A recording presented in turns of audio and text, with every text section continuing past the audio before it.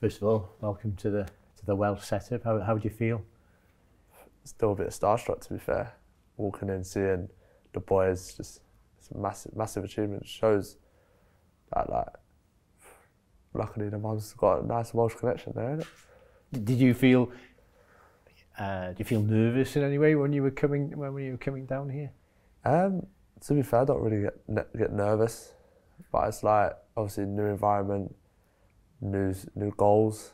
Got to set myself, and yeah, for me, I just can't wait to get to get playing. Really, In terms of it's been quite a journey for you. I mean, you're still young, I know you're 22 still, but it's been quite a journey for you. West Ham, then been in non-league, and now um, back in, in, in, in with Huddersfield. It seems to a lot of things have happened.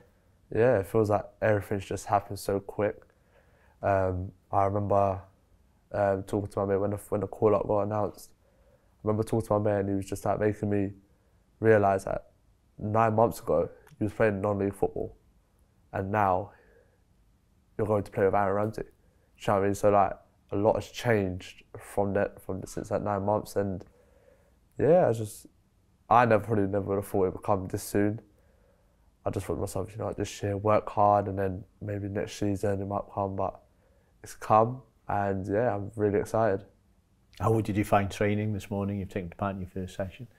yeah, it was everything was obviously it's just everything's just so professional here, and um, yeah, it's just like getting to know some of the boys as well, which was good. My mum's from um, Newport, so um, yeah, that's where it's really come from, to be honest. And um, yeah, obviously nearly every summer I'm down here, down in Wales. Most people might know it's Porthcawl, Yeah. so I'm down there, the Coney Beach, always there. So yeah, it's down here a lot, but yeah, the Welsh questions definitely come from my mum.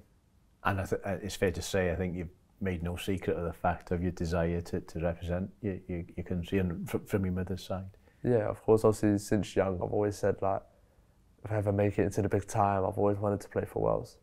It was never no doubt for me. It was always I want to play for Wales, I want to play for Wales. And as soon as I got the move to Huddersfield, straight away said to my agent like, make sure I'm down for Wales, not for England or anything else. I want to be down for Wales, so I can play and do you know I mean, make a, a long, long dream to tell. As a club, Huddersfield have had a decent start to the season. You've had a good start. You named EFL Championship Player of the, of the, of the month. Um, how would you describe yourself as a player, those who might not have seen you play? Um, I like to, I like to be the last name on the fans' tongues when they leave the stadium. I like to excite people when they're in the stadium, and the good thing as well is I, I just be me. Like if you know me, I play, I leave everything out there on the pitch. Um, I play for the badge, whether it's the Huddersfield badge or the Welsh badge.